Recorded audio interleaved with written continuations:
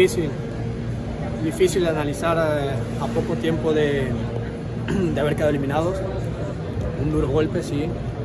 Eh, creo que nos faltó, nos faltó un poco de humildad para, para matar el partido cuando teníamos que hacerlo. Y después así es esto, un partido de que terminas en penales, es un volado ya en penales. Pero definitivamente teníamos que haber acabado el juego desde los 90 minutos. ¿Tu opinión sobre un equipo que viene prácticamente a encerrarse durante los 90 minutos del, del tiempo regular? No, dominamos todo el partido, realmente el partido fue nuestro. Te digo, nos faltó contundencia, nos faltó acabar el partido desde el primer tiempo, eh, iniciando el segundo, y después ya el pasar del tiempo, la presión de, de, que se nos está acabando el tiempo y saber que nos vamos a ir a penales, ellos se encierran también. Es así, hicieron su partido.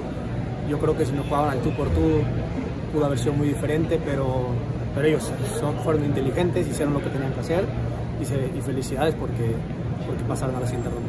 Mensaje para... que se deba que en estas dos ediciones de la Big ningún equipo mexicano haya podido disputar una final?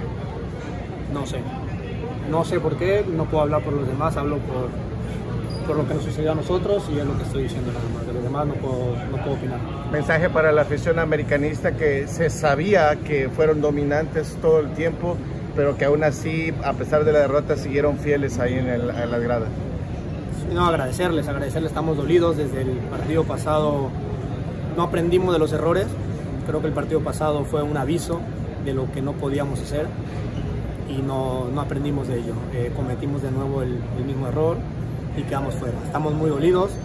Eh, disculpas a la afición, de nueva cuenta, pero que esto no queda aquí. Eh, nosotros vamos por la, por la liga en México y a reponernos de ello. No tenemos tiempo para lamentarnos, sino a, a darle vuelta a la página lo más pronto posible para enfrentar los siguientes partidos que nos quedan. Gracias.